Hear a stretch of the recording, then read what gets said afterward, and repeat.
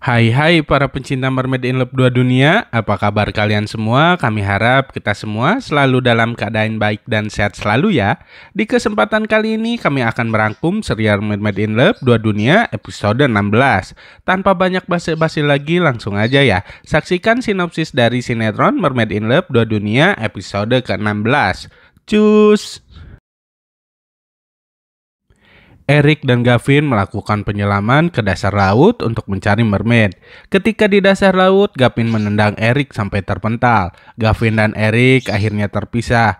Eric tidak sengaja melihat sekumpulan mermaid sedang berenang. Benji pun ada di sekitaran situ.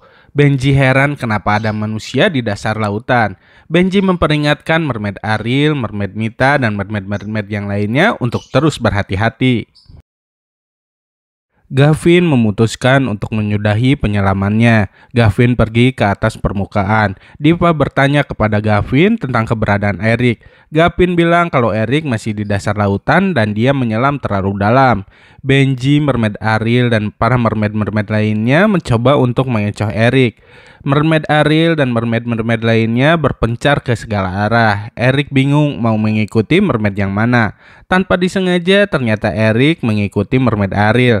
Mermaid Ariel panik karena Mermaid Ariel belum mengenal lautan dan takut nyasar. Pengawal istana Mermaid melaporkan kepada Ratu Neptuna bahwa ikan hiu ganas yang waktu itu menyerang Ariel sudah ditangkap dan dimasukkan ke kebun binatang laut. Tak lama kemudian, Mermaid Norin dan bertemannya melaporkan bahwa ada manusia yang sedang mendekati istana Mermaid.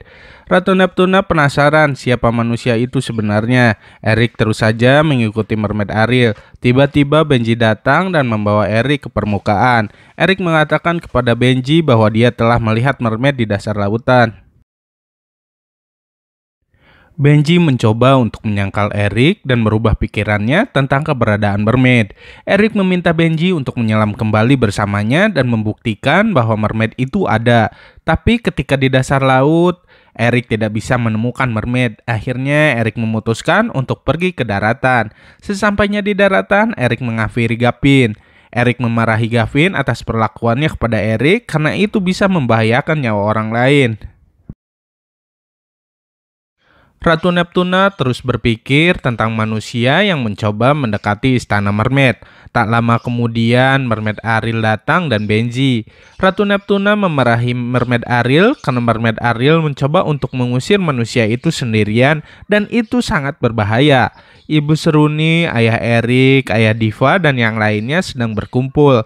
Mereka sedang menginterogasi kerabat bidan yang membantu proses kelahiran bayi mermaid 17 tahun yang lalu. Erik menanyakan tentang kelahiran bayi mermaid itu. Ibu Seruni semakin panik ketika Erik bertanya. Erik menanyakan tentang keberadaan bidan yang membantu proses kelahiran bayi mermaid itu. Kerabat bidan itu akhirnya memberitahukan alamat bidan itu.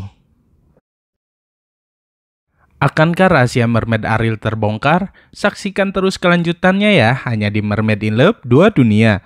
Terima kasih sudah menonton video sinopsis Mermaid in Love 2 Dunia episode 16 hari ini dari kami. Saksikan terus video-video kami selanjutnya ya. Dadah!